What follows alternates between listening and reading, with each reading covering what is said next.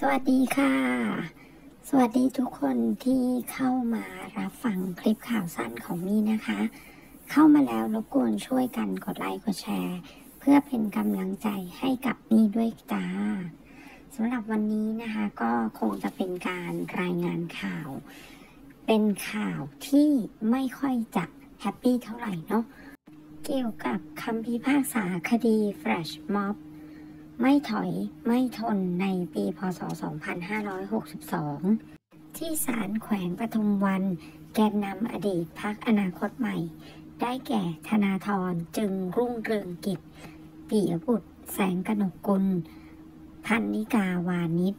ภัยรัฐโชตจันทรขจร อดีตผู้สมัครสสพักอนาคตใหม่ และนายพิธาลิมเจริญรัตน์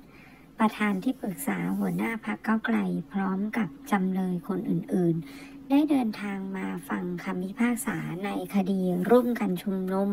ม็อบไม่ถอยไม่ทนที่สกายวอล์ก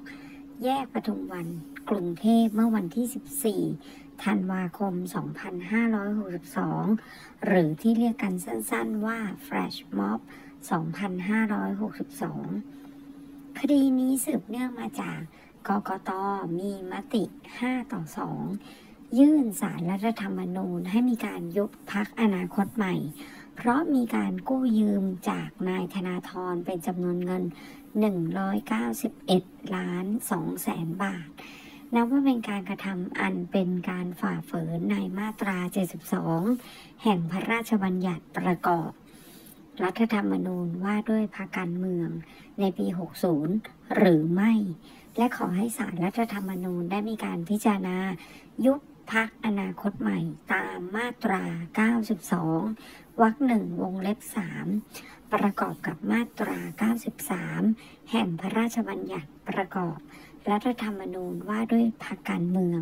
ในปี 60 ในวันที่ 11 ธันวาคม ปี พศ 2562 ปรากฏว่าสองวันให้หลัง นายธนาธรได้มีการนัดหมายประชาชนผ่านสื่อสังคมออนไลน์ ให้เข้าร่วมกิจกรรมแฟลชม็อบ เมื่อเสียงที่พวกเราเลือกเข้าสภา ไม่มีค่า ได้เวลาประชาชนออกมาส่งเสียงด้วยตัวเอง โดยใช้สถานที่ก็คือ Skywalk เขตปทุมวัน กรุงเทพมหานครเป็นสถานที่ในการจัดชุมนุม ในระยะเวลา 17นาฬิกาถึง 18นาฬิกาของวันที่ 14 ธันวาคม ปีพศ 2562 14 ธันวาคม วันนั้นมีผู้ชุมมาร่วมชุมนุมที่หอศิลป์เป็นจำนวนมาก โดยมีธนาธรปียบุตร และพันนิกา และพิธา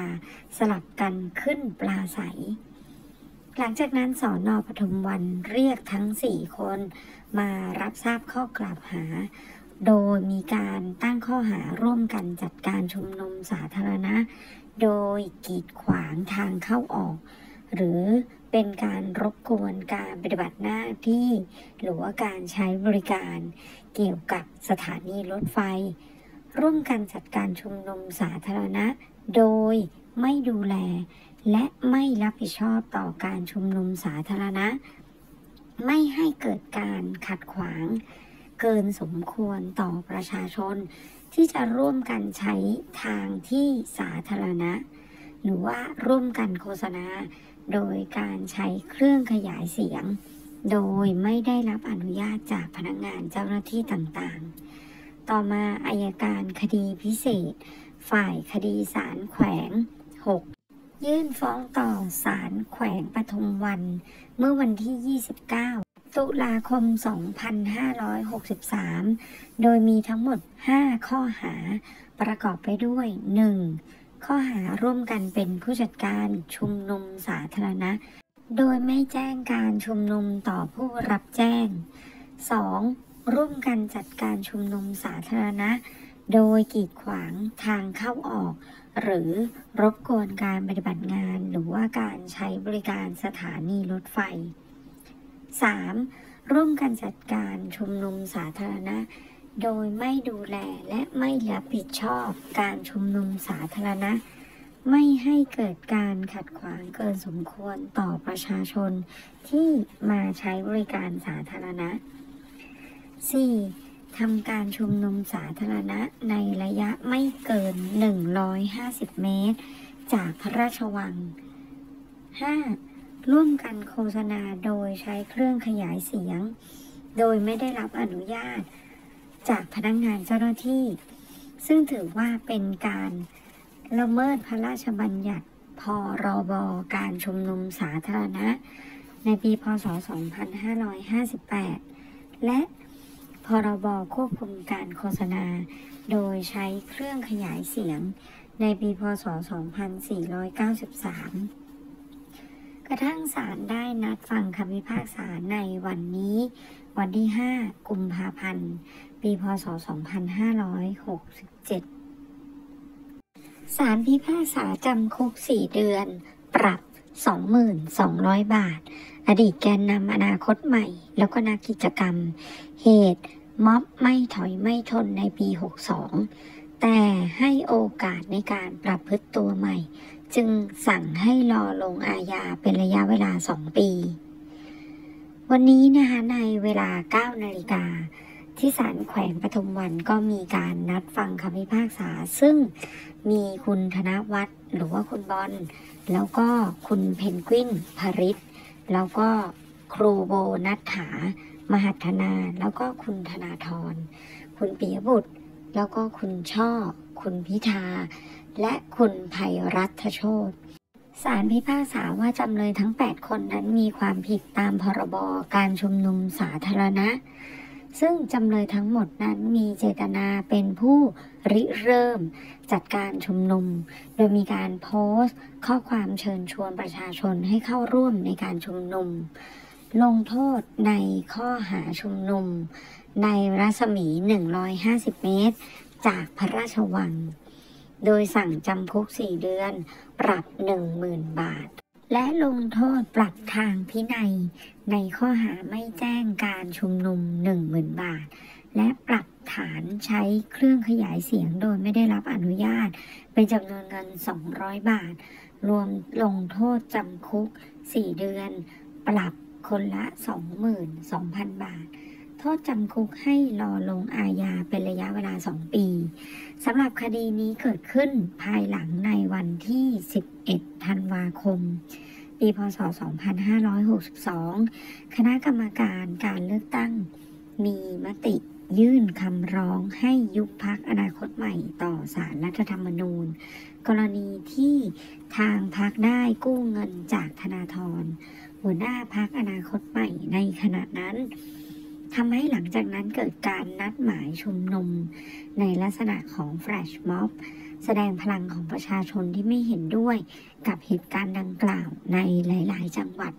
โดยในกรุงเทพมีการชุมนุม บริเวณสกายวอล์กแยกปทุมวัน โดยใช้ระยะเวลาสั้น ๆ เพียงแค่หนึ่งชั่วโมง ต่อมาตำรวจสอนอปทุมวัน ได้มีการแจ้งดำเนินคดี กับแกนนำหรือว่าบุคคลที่เข้าร่วม เมื่อวันที่ 26 ตุลาคมในปี 63 พนักงานอายการได้ยื่นฟ้องจำเลยทั้งหมด 8 คน โดยมีการบรรยายพฤติการกล่าวหา โดยสรุปว่าจำเลยได้ร่วมกันโพสต์ Facebook แล้วก็ Twitter เพื่อชวนเชิญ ให้ประชาชนนั้นมาเข้าร่วมในการเรียกร้องความยุติธรรม และความเสมอภาคในสังคมให้กลับคืนมา ในวันที่ 14 ธันวาคม ปีพศ 2562 ที่ Skywalk บริเวณหอศิลป์แยกปทุมวัน เป็นเวลา 1 ชั่วโมง นับตั้งแต่ 17 นาฬิกาจนกระทั่งถึง 18 นาฬิกา ต่อมาในวันที่ 14 ธันวาคม พศ 2562 ในเวลานั้นจำเลยทั้งหมดเป็นผู้จัดการชุมนุม ได้ไปที่บริเวณ Skywalk ซึ่งเป็นทางเดินเชื่อมระหว่างสถานีรถไฟฟ้า BTS กับ BTS สนามกีฬาแห่งชาติ และสะพานลอยข้ามแยกปฐมวัน อันเป็นที่สาธารณะที่บุคคลอื่นนั้นสามารถมาเข้าร่วมการชุมนุมได้ ธนาธร ปียบุตรพนิกา และพิธาได้ผลัดกันขึ้นปราศัยเพื่อแสดงจุดยืนทางด้านการเมืองของพรรคอนาคตใหม่ แสดงความไม่พอใจต่อการบริหารงานของรัฐบาลในขณะนั้น พร้อมกับมีการแสดงสัญญลักษณ์ชูสามนิ้ว อันเป็นการชุมนุมสาธารณะที่ไม่ชอบด้วยกฎหมาย ซึ่งจำเลยที่เป็นผู้จัดการชุมนุมนั้นไม่ได้มีการแจ้งการชุมนุมสาธารณะก่อนเป็นระยะเวลา 24 ชั่วโมง ต่อหัวหน้าสอนอปทุมวัน ทั้งในพื้นที่ของการชุมนุมมีประชาชนร่วมฟังการปราศัยเป็นจำนวนมาก ที่บริเวณสกายวอล์กไปจนกระทั่งถึงบริเวณบันไดหน้าหอศิลป์วัฒนธรรมกรุงเทพ และก็ยังเป็นบริเวณที่อยู่ใกล้ภายในรัศมี 150 เมตร จากพระราชวังสะปทุม อันเป็นที่ประทับของพระเทพจำเลยทั้งหมดได้ต่อสู้คดีโดยมีการนัดสืบพยานเป็นระยะในระยะเวลาสองปีที่ผ่านมา ในวันนี้บรรยากาศตลอดบริเวณศาลแขวงปทุมวันพบว่ามีเจ้าหน้าที่ศาลแล้วก็ตำรวจศาล เข้าตรวจค้นผู้ใช้บริการศาลอย่างเข้มงวด โดยมีการตรวจค้นกระเป๋าและสัมภาระอย่างละเอียด และมีการให้แสดงตัวว่าผู้สังเกตการทุกคนมาจากหน่วยงานสังกัดใดบ้างก่อนที่จะเข้ารับฟังการพิจารณาคดี ที่ห้องพิจารณาคดีเจ้าหน้าที่ศาลยืนที่บริเวณหน้าห้องพิจารณาอย่างเข้มงวด โดยให้แต่ละคนนั้นลงนามในเอกสาร ขออนุญาตเข้าฟังการพิจารณาคดี และต้องมีการแสดงบัตรประจำตัวประชาชน โดยมีตำรวจศาลเดินถ่ายรูปบัตรประชาชนของทุกคนที่อยู่ในห้อง ต่อมาเวลา9นาฬิกา30 นาทีศาลได้นั่งพิจารณาคดี โดยให้จำเลยลุกขึ้นแสดงตัว ก่อนที่จะเริ่มอ่านคำฟ้องที่อายการได้มีการบรรยายฟ้อง และคำวินิจฉัยโดยสรุปได้ว่า การกระทำของจำเลยทั้ง 8 คนเป็นการเชิญชวนให้คนเข้าร่วมการชุมนุม แม้ต่างคนจะต่างเชิญชวน แต่ก็แสดงให้เห็นถึงเจตนาของจำเลยทั้งหมด 8 คน ว่าจำเลยนั้นเป็นผู้จัดการชุมนุม ซึ่งมีหน้าที่ต้องเตรียมการแล้วก็มีการแจ้งการชุมนุม ล่วงหน้าต่อสอนอท้องที่ที่รับผิดชอบในพื้นที่ดังกล่าว และย่อมที่จะต้องตระหนักถึงหน้าที่ในฐานะของผู้จัดการชุมนุม ในการอำนวยความสะดวกให้กับประชาชน ที่มีการสัญจรไปมา ได้รับความสะดวก แล้วก็ประโยชน์ ในการใช้พื้นที่สาธารณะร่วมกัน ตามเจตนารมณ์ทางด้านกฎหมาย แม้ในคดีนี้จำเลยที่หนึ่งก็คือคุณโบนัฐาจำเลยที่สองก็คือคุณเพนกวินจำเลยที่สามก็คือคุณบอลธนวัฒน์และจำเลยที่แปดก็คือ คุณภัยรัตโชตจะอ้างตัวเป็นพยานจำเลยขึ้นเบิกความว่า ไม่ได้เป็นผู้ขึ้นปราศัยเพียงแค่เข้าร่วมชุมนุม ก็เนื่องจากไม่พอใจถึงการบริหาร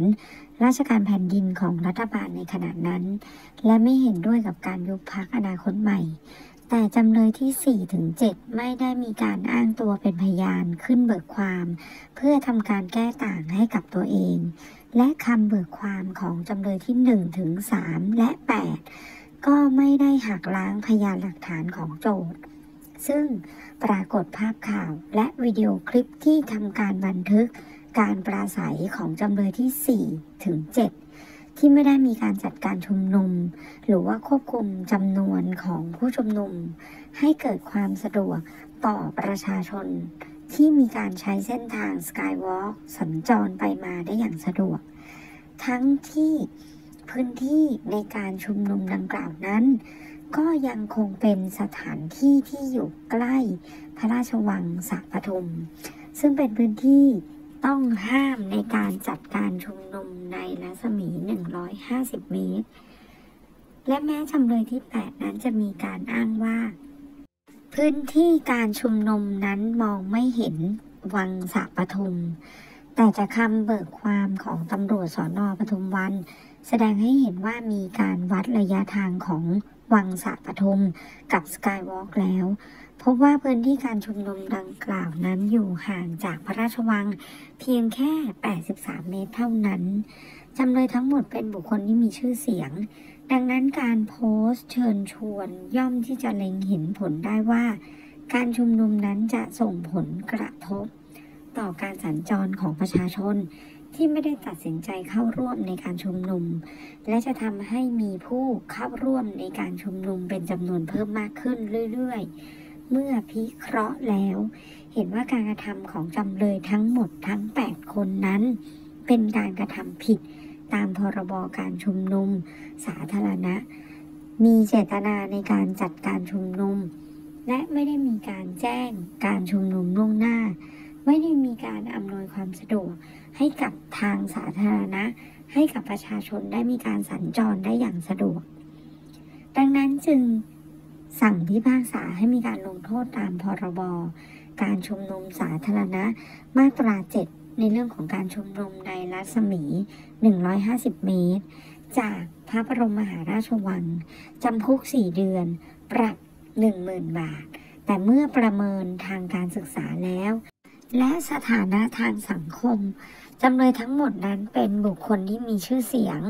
และย่อมที่จะรู้ถึงเรื่องราวสิทธิการใช้เสรีภาพ ว่าสิ่งใดนั้นสามารถกระทำได้หรือไม่ ทั้งนี้การกระทำความผิดก็สืบเนื่องมาจากการแสดงออกทางด้านการเมือง ไม่ใช่การกระทำผิดที่ร้ายแรงโทษจำคุกจึงให้รอลงอาญาไว้เป็นระยะเวลา 2 ปี อย่างไรก็ตามคดีนี้ยังมีความผิดที่มีโทษปรับ ทางพินัย ได้แก่ข้อหาในการไม่แจ้งการชุมนุมสาธารณะ ตามมาตรา 10 ของพรบชุมนุมสาธารณะ ให้มีการลงโทษปรับ ทางด้านพินัยในข้อหานี้เพิ่มขึ้นอีก 10,000 บาท นอกจากนั้น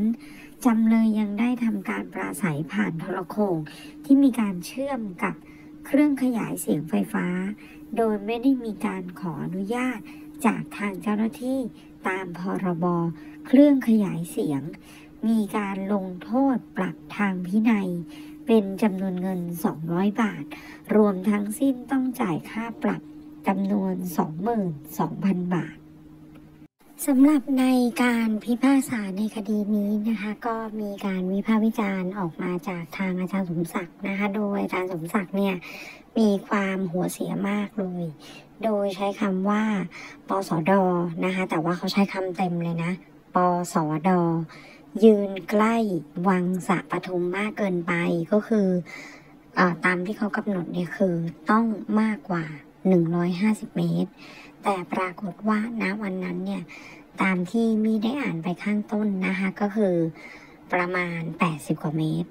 ก็คือใกล้เกินไป จึงมีการสั่งให้ติดคุก แล้วก็อนุโลมให้ก็รอลงอาญา มันน่าตลกมากเลย เพราะว่าก็มีอาจารย์ ศูนย์วิจัย มหาวิทยาลัยหน้าบางแห่งหนึ่ง คาดว่าน่าจะเป็นอาจารย์ปริญญา ได้ออกมาแสดงความคิดเห็นนะคะบอกว่ายุติธรรมตำตา ไม่ต้องแซงจะลงแรง ลงเบา เราต่างเห็น เครือข่ายต่างสี หรือมีเส้น ไม่ต้องเร้นเห็นอยู่ตราชูใคร แล้วก็เป็นภาพที่นำมาเปรียบเทียบกันนะคะ เพราะว่ามีการปิดสนามบิน 10 วันของสนธิสั่งให้มีการปรับคนละ 20,000 บาท แล้วก็จบคดี ส่วนของ Flash Bob Skywalk เป็นระยะเวลาหนึ่งชั่วโมงของคุณธนาธรปรากฏว่าศาลสั่งจำคุกนะคะ4เดือน แต่ให้รอลงอาญา ส่วนโทษปรับคนละ 11,200 บาท เรื่องนี้นะคะมี่ก็คิดว่าเข้าใจไม่ยากหรอก ทุกคนก็น่าจะทราบอยู่แล้วนะคะว่า ตั้งแต่มีพักอนาคตใหม่ มีคุณธนาธร มีพักสีส้ม มีพักเก้าไกลผงาดขึ้นมาเนี่ย การเมืองไทยมันก็ไม่มีวันเหมือนเดิม ทุกคนก็จะพยายามที่จะต่อต้านพักส้ม เนื่องจากเป็นพักที่จะเข้ามาเปลี่ยนแปลงอะไรหลาย ๆ อย่าง เพราะฉะนั้นในเคสนี้เนี่ยก็คงจะไปถามหาความยุติธรรมไม่ได้ พิธาลั่นขออุทธรณ์อ้างชุมนุมไม่อยู่ในระยะ 150 เมตรจากวัง ชี้ว่าคดีอื่นที่เดียวกันยังยกฟ้องเลย แขวะปิดสนามบินยังแค่ถูกปรับ ทนายมีการเปรียบกรณีอื่นใช้สถานที่เดียวกัน แต่ศาลกลับยกฟ้อง เปรียบม็อบปิดสนามบินเป็นเดือน แต่ถูกปรับเพียงแค่ 20,000 บาท สะท้อนการใช้ดุลพินิษตีความเจตนารมณ์ตามกฎหมาย ภายหลังศาลแขวงดุสิตมีคำพิพากษาจำเลยในกรณีของการจัดกิจกรรมไม่ถอยไม่ทน ทนายด่างได้กล่าวว่าอายการโจทย์ได้ฟ้องตามพรบการชุมนุมสาธารณะ ฐานไม่แจ้งการชุมนุม ขัดขวางทางเข้าออกรถไฟฟ้า การใช้เครื่องขยายเสียงโดยไม่ได้ขออนุญาต และความผิดในโทษฐานที่ค่อนข้างจะร้ายแรงในการจัดการชุมนุม ใกล้วังในระยะไม่เกิน 150 เมตร ซึ่งเป็นสถานที่ประทับของเชื้อพระวงศ์ชั้นเจ้าฟ้า ขึ้นไปย่อมที่จะมีความผิดตามกฎหมาย โดยพิธาได้กล่าวว่าพวกเราจะมีการอุทธรณ์คดีนี้ต่อในหลายประเด็น เรื่องหนึ่งก็คือสัดส่วนของกฎหมาย ซึ่งแน่นอนว่าการชุมนุมสาธารณะโดยสันติอาจจะมีการกระทบกระทั่งต่อสังคมบ้าง โดยได้มีการยกตัวอย่างของการชุมนุมที่สนามบินที่มีโทษปรับเพียงแค่ 20,000 บาท โดยไม่ได้มีโทษอาญาทางด้านอื่น ๆ แต่อย่างใด จึงได้มีการปรึกษากับทนายความว่า ดูคำพิพากษาย้อนหลังว่าเคยได้มีการชุมนุมที่สถานที่ณแห่งนั้นนี้มากี่ครั้งและมีคำพิพากษาอย่างไรบ้าง และตนก็ยังมองว่ายังมีความคลาดเคลื่อน ในเรื่องข้อเท็จจริง เพราะไม่แน่ใจว่าระยะทาง 150 เมตรนั้น วัดจากจุดไหนถึงจุดไหน แต่จุดที่พวกตนยืนกันอยู่ นั้นมีการวัดแล้วว่าเกินระยะ 150 เมตรอย่างแน่นอน ดังนั้นจึงต้องการที่จะอุทธรณ์เพื่อให้ข้อเท็จจริงนั้นปรากฏ คุณพิธาได้ให้สัมภาษณ์ว่าการควบคุม วาระทางสังคม ผ่านการชุมนุมอย่างสันติ ถือว่าเป็นส่วนหนึ่งของประชาธิปไตย และแน่นอนว่าหากมีการละเมิดสิทธิเสรีภาพคนอื่นก็อาจจะมีโทษ แต่ต้องได้สัดส่วนกับเหตุ เพราะฉะนั้นจะใช้สิทธิ์ในการอุทธรณ์ต่อ รวมถึงการพิสูจน์ข้อเท็จจริงที่อาจจะคลาดเคลื่อน ส่วนทางด้านทนายด่างได้กล่าวเพิ่มว่ากรณีอยากให้ไปคัดคำพิพากษาโดยละเอียดมาดูคำพิพากษาแบบนี้เราเห็นต่างกันอย่างแน่นอน เพราะหากยกตัวอย่างการชุมนุมที่สกายวอล์กที่เดียวกันตำรวจก็เคยมีการฟ้องข้อหานี้แล้ว ที่ศาลอาญากรุงเทพใต้พิจารณายกฟ้อง สถานที่เดียวกันเลยอายการก็ไม่อุทธรณ์เพราะฉะนั้นอย่างในกรณีที่มีการพูดถึงก็คือ เอาความจริงมาพูดกันดีกว่า ตนนั้นมีการเคารพคำพิพากษา แต่เคารพในความเป็นจริงมากกว่า คดีนี้จึงมีความเหมาะสมที่จะอุทธรณ์เพราะความเป็นจริงนั้นมันไม่ได้เป็นไปตามที่โจทย์นั้นฟ้องมา นอกจากนี้ในกรณีของการแจ้งการชุมนุม ทนายความได้ยกตัวอย่างในศาลแขวงเชียงราย ซึ่งได้พิจารณาไว้แล้วว่าเจตนารมณ์ของพระราชบัญญัติการชุมนุมสาธารณะ ไม่ต้องขออนุญาต แจ้งให้ทราบ และเมื่อเจ้าพนักงงานในพื้นที่ทราบแล้ว ก็ไม่ต้องแจ้งแล้วในกรณีนี้ในทางนำสืบ เห็นได้ชัดเลยว่า มีการชุมนุมในวันที่ 14 ธันวาคม แต่พนักงานสอบสวนบอกว่ารู้มาก่อนแล้วตั้งแต่วันที่ 13 กรณีนี้เคยมีคำวินิจฉัยของศาลแขวงเชียงราย ว่าหากผู้จัดชุมนุมโพสต์แล้ว และตำรวจก็รู้แล้ว ถือว่าเป็นการแจ้งให้ทราบแล้ว เพราะเจตนาของพรบนี้มันมีเพียงแค่นี้จริง ๆ อีกทั้งศาลก็ยังเชื่อว่า มีการขัดขวางทำให้คนเดินไปใช้บริการรถไฟฟ้าได้ไม่สะดวก แต่ในทางนำสืบฝั่งจำเลย เบิกพยานเป็นพนักงานรักษาความปลอดภัยบนรถไฟฟ้า ก็พบว่าในวันนั้นมีปริมาณผู้ใช้ตามค่าเฉลี่ย เพราะฉะนั้นจึงเป็นประเด็นที่ศาลสูงจะเป็นผู้วินิจฉัย ผมยกตัวอย่างว่าสมมุติว่าผิด คุณยึดสนามบิน โทษ ปรับเพียงแค่ 20,000 บาท แต่ทำไมไปสกายวอล์กศาลก็บอกว่าชุมนุมสั้นๆ อาจจะเป็นระยะเวลาไม่เกิน 1 ชั่วโมง ก็คืออยู่ในช่วงระยะเวลาประมาณ 45 นาที หากจะขัดขวางจริง ก็มีเพียงแค่นี้ แต่ทำไมลงโทษจำคุกตั้ง 4 เดือน ผมคิดว่ามันไม่ได้ผิดปกติ แต่มันเป็นคำวินิจฉัยที่ผมนั้นรับไม่ได้ อันนี้เป็นคำสัมภาษณ์ของทางทนายด่าง ทางด้านของนายพิธาก็ได้กล่าวเสริมว่า หลักใหญ่สำคัญทั้งทางเชิงนิติศาสตร์รัฐศาสตร์ หรือสังคมศาสตร์ ก็คือหลักการที่ได้สัดส่วน แน่นอนบางครั้งอาจจะต้องมีการใช้เสรีภาพเกินขอบเขตไปบ้าง แต่การเกินขอบเขต จะลงโทษในลักษณะไหน มันก็ย่อมที่จะได้สัดส่วนและความเสมอภาคด้วยเช่นกัน ส่วนนายปีบุตรหนึ่งในจำเลยได้กล่าวเพิ่มเติมว่า กรณีนี้มีการสะท้อนถึงการใช้ดุลพินิษที่หนีไม่พ้นคนทั่วไป จะนำไปเปรียบเทียบกันระหว่างการชุมนุมของกลุ่มหลายกลุ่มที่ผ่านมากระทำการอุกอาจหรือว่าร้ายแรง แต่ว่าศาลก็มีการลงโทษปรับเพียงแค่ 20,000 บาทเท่านั้น เมื่อเรานำมาเปรียบเทียบกันแล้ว แม้ว่าจะคนละกรณีกัน แต่ความเดือดร้อนเสียหายของประชาชนโดยทั่วไป ที่มีการเดือดร้อนจากการชุมนุม หากดูตั้งแต่ในกรณีวันที่ 14 ธันวาคม การชุมนุมของเราเนี่ยสั้นมาก ไม่ถึงหนึ่งชั่วโมงแล้วก็แยกย้ายกัน ตอนจบยังมีการช่วยกันทำความสะอาดด้วย แต่ถูกศาลพิพากษาจำคุก 4 เดือน ให้รอลงอาญา 2 ปี ส่วนความไม่เหมาะสม หรือไม่สมเหตุสมผลของกฎหมาย ตนเชื่อว่าพรรคก้าวไกลก็จะมีการไปขับเคลื่อนกันต่อ เพราะตั้งแต่ทำงานในสมัยอนาคตใหม่ ก็เคยมีการตั้งประเด็นในเรื่องของพระราชบัญญัติ การชุมนุมสาธารณะ และมีความเกินกว่าเหตุไปนิดหน่อยในหลาย ๆ เรื่อง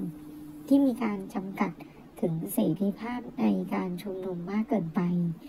ถามว่าการชุมนุมของพวกเรานั้น ประชาชนเดือดร้อน เทียบเป็นน้ำหนักแล้ว มันเท่าเทียมกับการที่จะต้องติดคุกถึง 4 เดือนอย่างนั้นหรือ แล้วในกรณีที่มีการยึดสนามบินเล่า เกือบเดือน ทำให้มีผู้เสียหายจากการชุมนุม